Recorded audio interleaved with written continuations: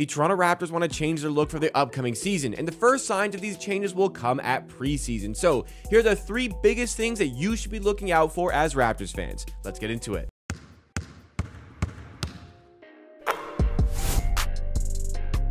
NBA preseason is about a month and a half away, but we're still trying to plot out exactly what we're expecting to see from the Raptors this season and where we want to see changes, specifically changes in the development category, because a lot of what the Raptors are going to be doing for the foreseeable future is gambling on internal development. Obviously, the Raptors have looked at the NBA draft, more specifically, the most recent NBA draft where they utilized four picks to bring in four new players to the team. But what they are really going to be betting on, even with these players, is internal development, internal growth. This isn't a team that's going to be a cap space team. This likely isn't going to be a team unless Masai Ujiri gets some crazy ideas this likely isn't going to be a team that's shelling out draft picks to really drastically change up the foundation of their roster by bringing in marquee players. They are really going to be focusing on working with what they have, seeing where this core can go, and are happy to do this, especially this season, which is the first year of their rebuild. They're really going to see what they have. They're really going to see what the core can do together. So we really want to take a look at where this internal development is going to come from and if certain signs are going to start showing themselves in that preseason. The players obviously are going to be working all throughout the summer, or really mostly throughout the summer, to try and set their game right and improve on some certain parts of their game to really take it to the next level. And the three biggest ones that I want to be looking out for, I think you should be looking out for in preseason as well, are going to be conveyed over the course of today's video right here on Amateur Sports, the YouTube channel completely dedicated to Toronto Raptors content. Subscribe for more content just like it and drop a like if you enjoyed this one along the way. So, the first sign of development that we really want to be looking out for in preseason, I think that this is a pretty easy one, and it's one we're going to be really looking at for the second straight season, or maybe rather the fourth straight season here for Scottie Barnes. Heading into his fourth NBA season, yes, the final year of his rookie contract, but have no fear, Raptors fans. He has already signed his rookie max extension, meaning the Raptors have control over where Scottie Barnes plays his NBA basketball for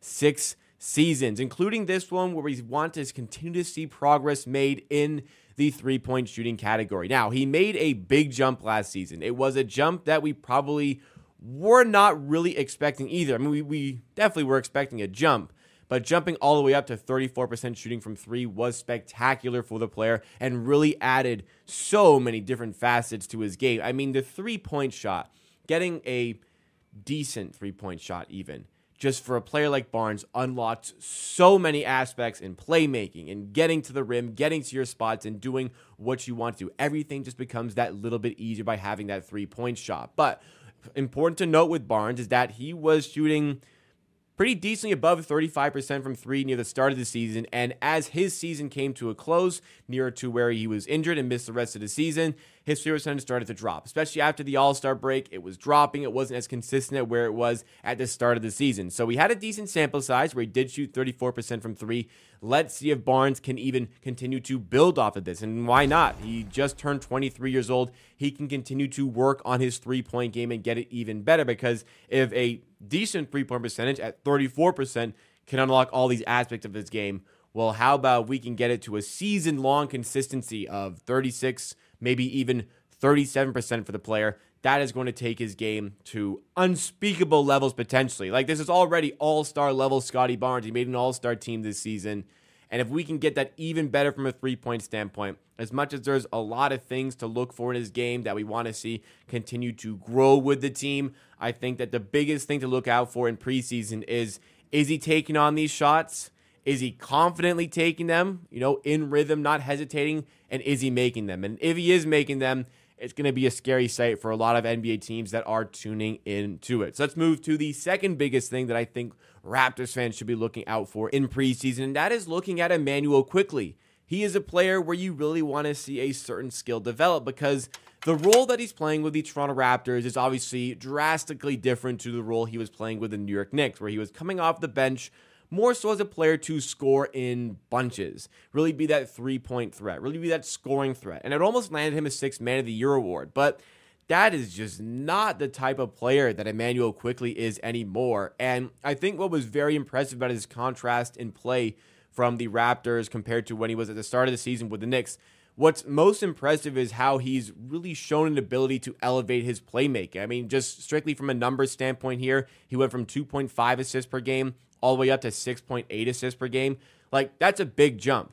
And it just happened on the fly. He hit the ground running with these Toronto Raptors as that lead sort of playmaker. Now, it wasn't such a, a shocking change for Quickley in terms of himself and his game. He played as a point guard in college. He played as a point guard early on with the New York Knicks and kind of molded into this different role as the team grew. They needed a specific talent out of Quickley, and they got that, but potentially that's where they saw maybe the long term fit wasn't there, which is why he ended up on the Raptors in that OG Anunoby trade. Well, he really hit the ground running, like I said, with playmaking.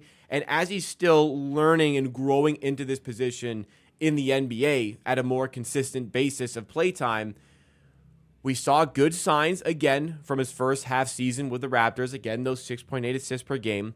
But there still was a bit to be desired from a playmaking standpoint, from his entry passes to his kickouts just needed to be maybe that little bit cleaner. It is that little bit cleaner.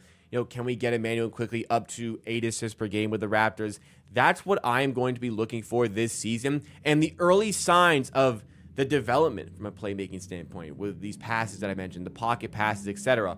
All these tools that a point guard has, even as a pick and roll player alongside Jakob Poeltl, all these tools that a point guard needs to have in the NBA I'm hoping to see that, that development out of Immanuel Quickley start to creep into proceedings in preseason. Now, for the top guys, they're not going to be getting the most amount of minutes as you look to distribute the action and get a good look at everybody. But if these signs are there, it's going to be exciting time for the Raptors. Again, there are other things to look at for Quickley. I think another thing that easily could have been the big thing for him that I wanted to put on this list was his ability to finish on the inside, finish at the rim a bit more consistently. You know, we saw the numbers here. Two point field goal percentage under 45%. We want to see that grow, but if the playmaking is cooking, I think that's going to allow for a bit more space for him to operate at the rim. So that kind of goes hand in hand. The final thing we want to look at is the other part of the core group of players for the Raptors. The real core of this team, absolutely, is Scottie Barnes, Immanuel Quickley, and RJ Barrett. So the third thing to look out for is RJ Barrett in terms of his consistency. Is RJ Barrett going to continue to produce at this outrageous level? There's been countless videos on YouTube and on this channel talking about RJ Barrett from his time with the New York Knicks compared to his time with the Raptors. The the biggest difference. Like it, it, it's really surreal to look at these numbers. He went from under 47% field goal percentage on twos to above 60%. He went from 33% on threes up to 39% on threes. He went from an effective field goal percentage under 48% to above 60%.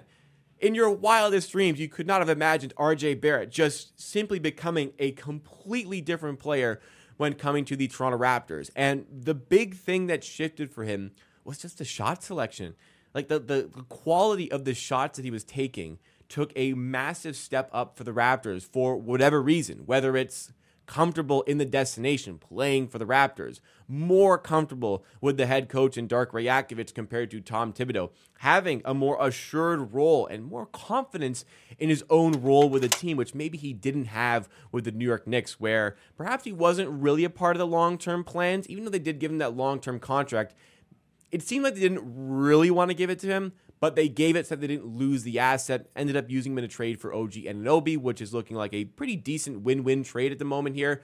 But man, if RJ Barrett continues to play like this, it'll be an even bigger win for the Raptors, and they will be the true winners of this trade. And it comes down to RJ Barrett and this level of efficiency and this quality of shots that he's taking. What was great is that, you know, even like 32 games played is a decent sample size, but I still wanted to know, you know, can R- I don't know if RJ Barrett can do this level of quality again.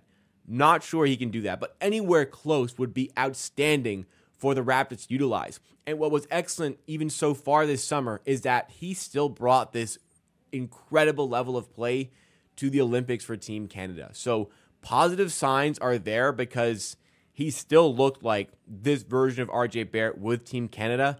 And if he's still looking like this in preseason with the Raptors, it's going to be even more exciting for the team going into the season. You know, I've spoken about many times for the Raptors season. I don't think it's going to be the most fantastic season as far as the win loss are concerned. Is the team good enough to win 36, 37, 38 plus games? I think it has the capability of winning that many games.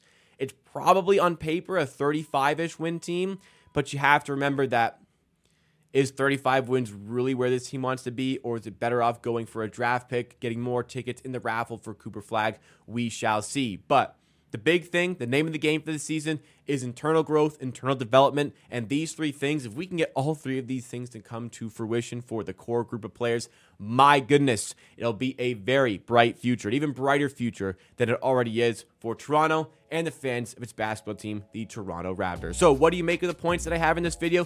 Do you have any different ones that I may have missed? Let me know your thoughts and opinions in the comments down below, because that's it for me for today. Drop a like if you enjoyed this video, subscribe for more Raptors content just like this in videos and in live streams, and I will see you again next time.